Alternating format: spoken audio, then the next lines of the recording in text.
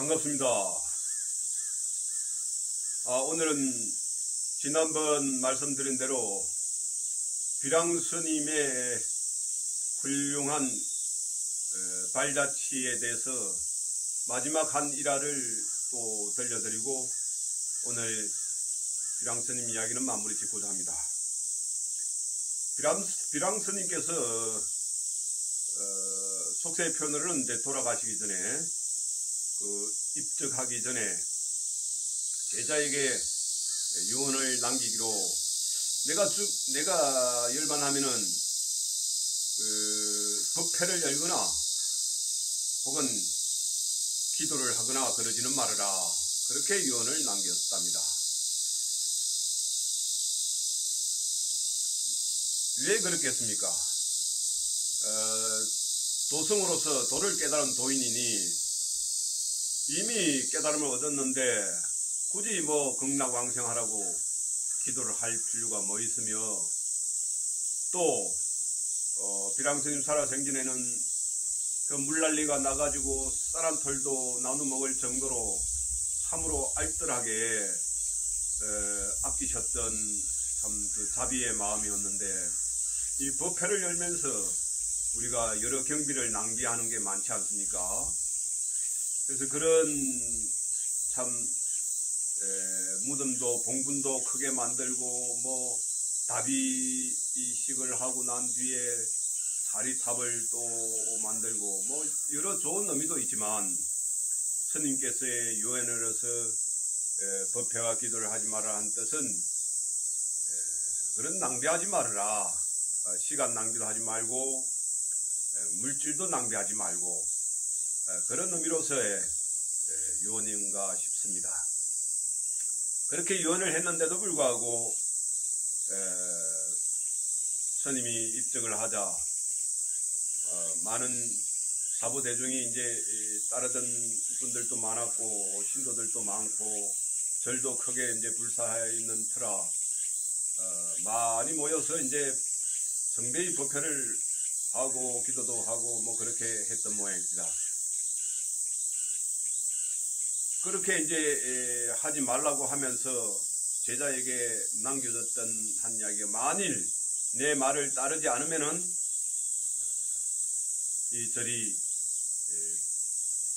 소실되어 불이 나서 소실될 것이다. 이렇게 이제 미리 이야기를 했답니다.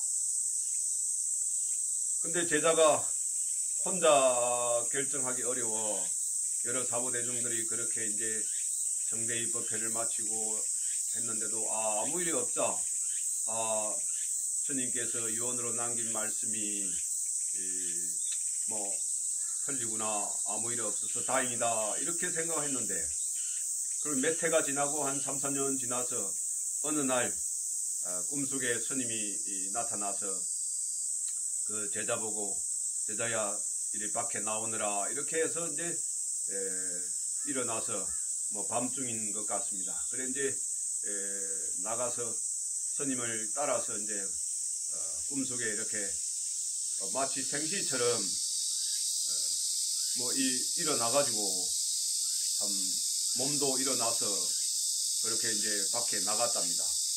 그래서 스님이 에, 음성을 듣고 밖으로 이제 나갔는데 실제로 이제 절 밖으로 스님을 따라서 그 독사못 방향으로 이제 가더랍니다.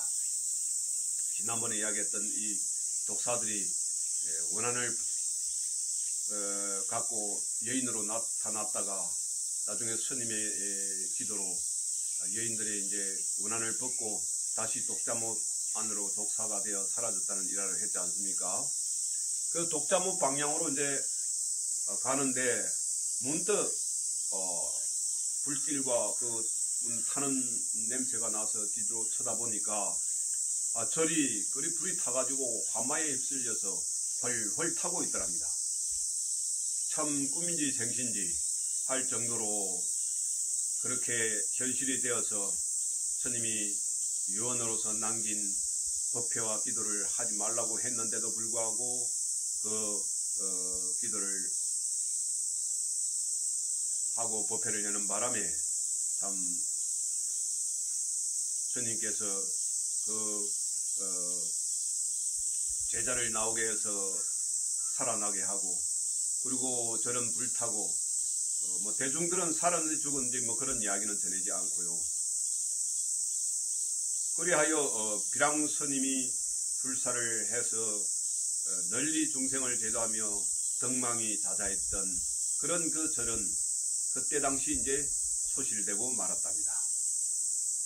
그때가 어, 고려 어, 지난번 숙종이 아니고 이제 현종 고려 현종 8대 임금 현종 때 지금으로부터 이제 천년 전이죠. 서기 1010년 음, 경 이제 즉위했으니까요. 근데 또 일설로는 비랑스님이 신라시대 고성을 하고 이렇게 또 기록이 돼 나옵니다. 네, 여하튼 어, 천년 전뭐 고려 시대가 됐던 신라 시대 스님이 됐던 민가에 고정되는 훌륭한 스님들의 스님의 그 일화가 이제 전해 옵니다. 아, 여러분, 이 일화를 통해서 비랑 스님이 불사를 하고 중생을 대도했던 그 산천군 생비랑면, 그 생비랑이 이제 비랑 스님이 살아있다 라는 데 의미로 생비랑인데 여기 수덕사에서 가깝습니다. 진주 수덕사에서 어, 불과 한뭐 15분 거리 가면은 이제 생비랑면이 있습니다. 내가 늘 어, 가까운 지역으로 포기를 하고 이러면은 주변을 이제 둘러봅니다. 둘러보면서 그 오랜 역사의 흔적을 더듬기도 하는데 마침 생비랑면에 비랑 스님께서 살아있다고 하는 그 생비랑 어, 유적비를 보고 참으로 가슴이 뭉클했습니다. 나도 중생을 제도한다고 이렇게 지리산에서 내려와서 참 진주 수덕사 포기당을 열어서 하고 있습니다만은 지금은 코로나 시대라 참 비대면 시대고 어, 자유롭게 드러내놓고 마음대로 활동할 수 없는 그런 안타까움도 있어서 주로 영상으로 이제 보기를 하고 있습니다. 자, 오늘은 비랑스님의 일화를 통해서 참 우리 수행자들이 어, 이 다음에 어, 이 몸을 다시 자연에 돌려주고 입덕할 때에 후학들에게 법회를 하지 말고 기도도 하지 말고 뭐 답이랄 게 뭐가 있겠느냐. 소돌하게 에, 뭐 봉분도 쌓지 않고 뭐 이 몸도 어, 참 자인으로 돌려주는 것인데 그저 간소하게 어, 치료해야 된다는 그런 깊은 뜻을 가슴에 새겨봅니다. 도인이 돌을 깨치면 물질과 모든 것에 걸림이 없는 것인데 비랑 스님의 행적을 통해서 깊이 가슴의 교훈으로 새겨봅니다. 감사합니다.